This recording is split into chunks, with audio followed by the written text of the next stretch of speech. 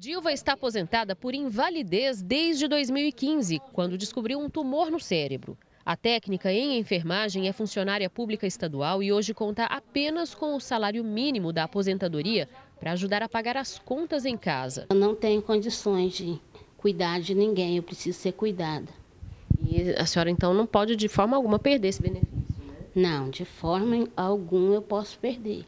No fim do ano passado, ela recebeu o aviso de que poderia ficar sem o pagamento caso não comprovasse que estava viva. Foi informada, né? Vi passando na televisão também e deixei assim para a última hora.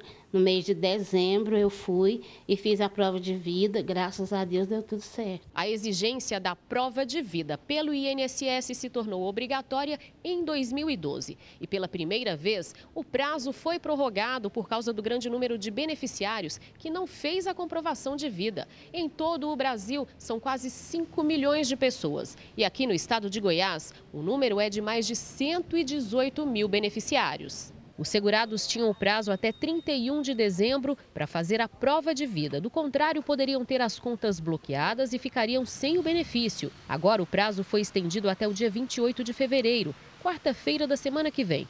A medida do governo serve para evitar fraudes. Evitar benefícios pagos indevidamente é uma proteção do cidadão e do Estado brasileiro.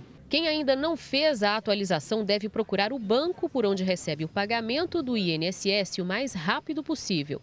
Todos os anos, a, pessoa precisa comparecer no banco onde ele recebe o benefício, juntamente com o um documento de identificação com foto. Nesse ato, fará a prova de vida, bem como a renovação da senha, seja de sua conta corrente, seja do cartão magnético.